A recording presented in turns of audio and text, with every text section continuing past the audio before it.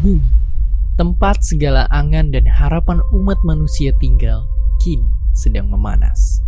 Sains mencatat, bumi kita sedang mengalami kenaikan suhu yang bisa dibilang parah. Bahkan tahun lalu tercatat sebagai tahun terpanas kedua dalam sejarah manusia. Dan mengerikannya, enam suhu terpanas bumi yang pernah tercatat semuanya terjadi di dalam satu dekade belakangan. Mungkin kalau nggak dihentikan, kita akan menuju ke tahun-tahun di mana bumi memiliki lebih banyak persoalan ketimbang harapan.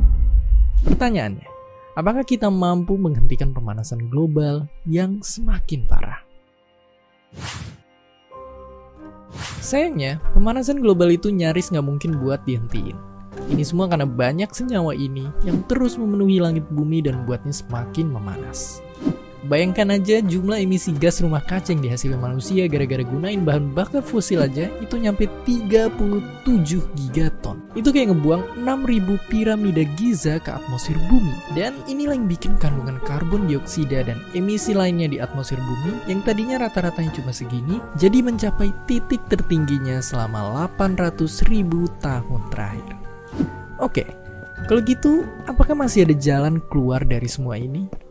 Apa masih ada cara buat memperlambat pemanasan global? Sebenarnya masih ada. Tapi itu pun bakalan susah banget. Ilmuwan-ilmuwan banyak yang udah sepakat kalau cara terbaik buat memperlambat pemanasan global adalah dengan ngurangin emisi gas rumah kaca ke udara. Makanya 197 negara di dunia juga udah sepakat dalam 10 tahun ke depan, seenggaknya kita udah harus ngurangin emisi gas rumah kaca segini buat ngejaga biar suhu bumi nggak naik 2 derajat Celcius di akhir abad ini. Karena kalaupun semua manusia saat ini berhenti ngasilin karbon dioksida ke udara, bumi masih akan tetap memanas. Dan apalagi kalau kita nggak ngapa-ngapain, bisa aja ada kemungkinan yang jauh lebih parah. Kelihatannya, 2 derajat itu emang kayak kecil banget. Tapi nyatanya, kenaikan suhu bumi sekarang ini aja udah bikin perubahan iklim yang dampaknya ngerembet ke mana-mana bencana alam segala bentuk udah gak bakalan nahan diri untuk ngancurin kita. Sampai spesies hewan dan karang di lautan yang jadi makin terancam. Dan bahkan pemanasan global juga disebut ikut nyebabin banyak kematian lewat persebaran penyakit. Menurut para saintis, bumi emang gak akan langsung berakhir karena ini semua.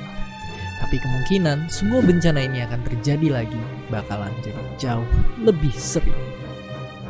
Terus gimana dengan kita? Kalau kita lihat sekitar aja masih kelihatan banyaknya orang di belakang layar masih nggak peduli dengan kondisi bumi sekarang. Yang main nebang pohon dan ngebakar lahan di sana sini buat keuntungan pribadi mereka aja. Padahal buat sekedar info, ini yang mungkin akan terjadi di Jakarta tahun 2050 kalau muka air laut terus nambah tinggi gara-gara pemanasan global. Tentunya kita nggak bisa biarin ini sampai terjadi. Untungnya, Indonesia juga punya komitmen buat ngurangin emisi gas rumah kacanya ke udara Laut bikin kebijakan kayak nunda pemberian izin pembukaan lahan hutan dan gambut, restorasi lahan gambut, ningkatin penggunaan pembangkit listrik tenaga terbarukan, dan rehabilitasi dan penyerahan hutan untuk tujuan sosial. Ya, PR kita masih panjang. Tapi sejauh ini kita udah mulai dan harus terus ngerjain mereka. Satu persatu. Intinya, pemanasan global itu hampir nggak mungkin buat dihentikan. Tapi seenggaknya, ini semua masih bisa kita perlambat dengan usaha dan kerjasama buat ngurangin emisi karbon ke udara. Bukan cuma negara, tapi juga kita semua lewat ngejaga dan ngerawat teman-teman kita ini biar dunia kita tetap terjaga kelangsungannya. Dan seperti biasa, terima kasih.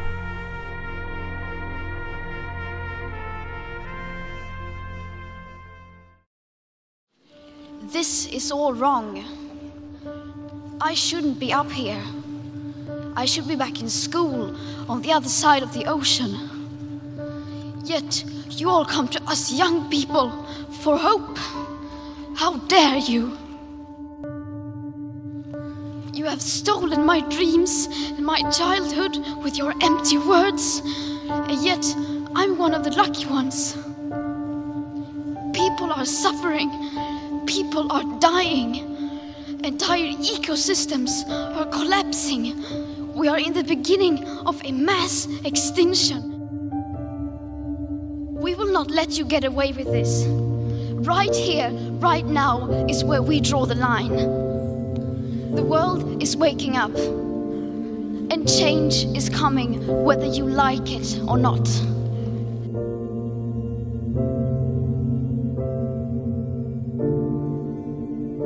Terima kasih udah nonton Kok Bisa. Punya pertanyaan lagi? Tulis aja di kolom komentar di bawah.